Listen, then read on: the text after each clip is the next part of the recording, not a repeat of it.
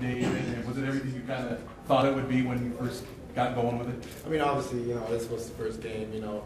They that actually showed us some new things we haven't really practiced, but, you know, we just adjusted. And overall, I think um, we did a good job, you know, after adjusting and everything.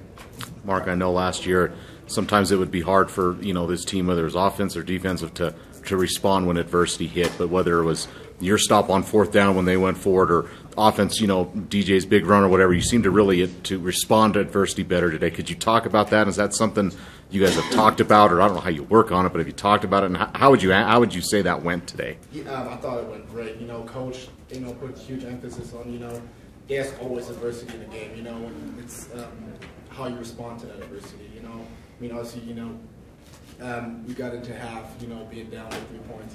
You know, no one was down, you know, everyone still had confidence, you know, we had to get out of here with a win. So the uh, coach did a great job, uh, you know, putting emphasis on that.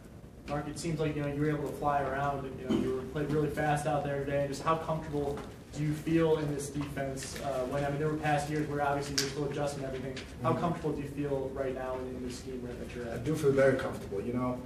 Um, obviously, we are still learning, and like I said, I mean, they threw a lot of stuff at us, you know, we really didn't practice, you know, and, but, you know, we adjusted, you know, and then from there on out, it's just playing football, you know, and it's just flying around making plays.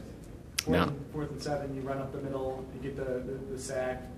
Just kind of what did you see on that play, and how big of a play was that for you guys to swing that? Um, you know, I just blitz the A gap, you know, it opened up wide, and I just saw the quarterback in front of me, and I said, you know. Could you sense how big a play that was? It felt like that was a really And yeah, big I turning mean, point. oh my god, yeah, it was. I, you know, it was huge for me. I loved it. You know, you know, you know, something, something like that like builds confidence. Obviously, you know, I feel like uh, it was after that touchdown actually, you know, the momentum definitely swung. You know, and um, you know, we took that, took big advantage of that momentum swing. Big day for your family today, Mark. Too. Your brother gets the block punt. Oh, I mean, gosh, I imagine what's going through your mind when you see little brother get in there and, and make a play. I was, it was amazing. You know, I was uh, so happy for him. You know, I was, oh my god, you know, that's my little brother. You know, making big plays like that. I was pretty proud of it.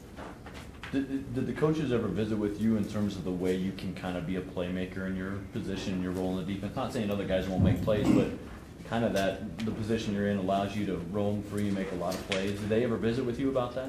Um, not really, to be, to be honest. You know, I mean, they pretty much let us play free. You know, all the linebackers have only one responsibility. You know, and you check your responsibility, and then you go from there and just play. You know, and that allows you to make a lot of plays.